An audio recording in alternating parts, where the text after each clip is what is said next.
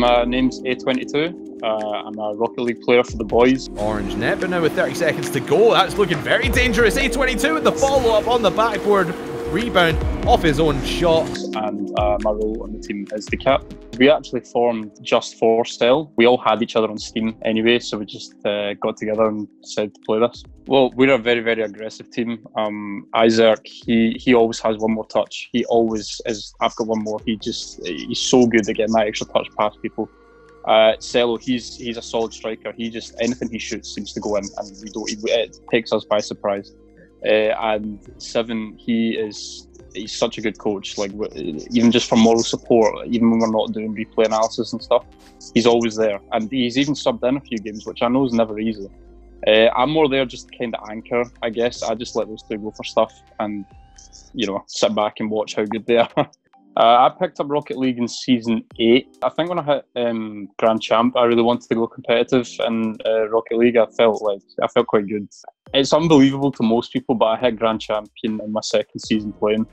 Um, I, I, played a lot when I first started playing and improved quite quick.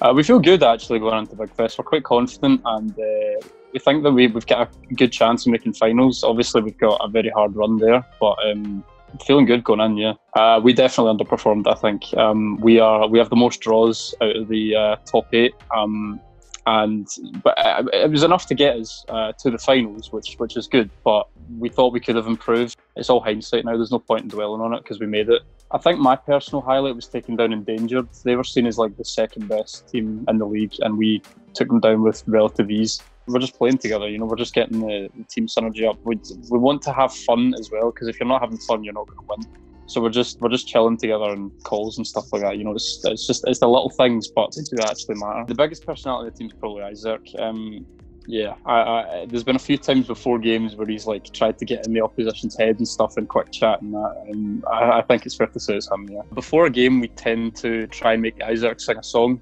Uh, he doesn't usually, so we end up getting a uh, Cello to do it because uh, he's, he's got some voice on him. But uh, yeah, Isaac, it's like a ritual now trying to get him to sing a song pretty much, yeah.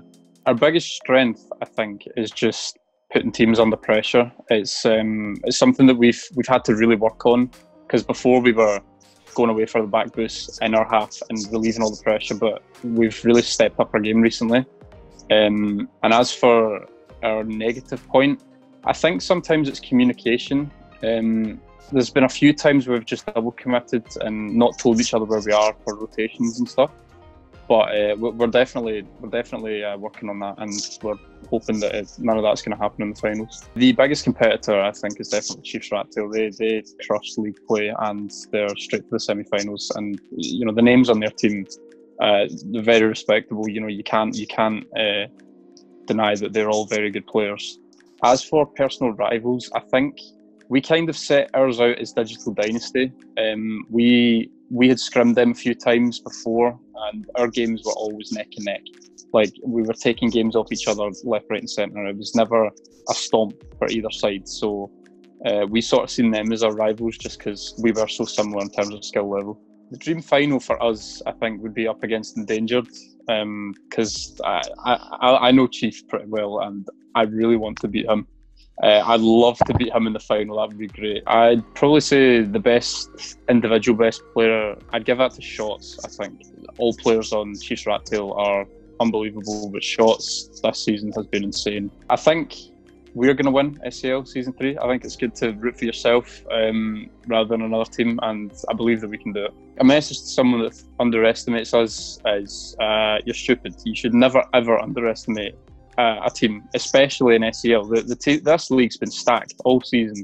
Uh, it's so many good teams, and you can't underestimate anyone. And if somebody does underestimate us, we're going to prove them wrong. You're, you're damn right we're going to prove them wrong. So uh, we've got what it takes.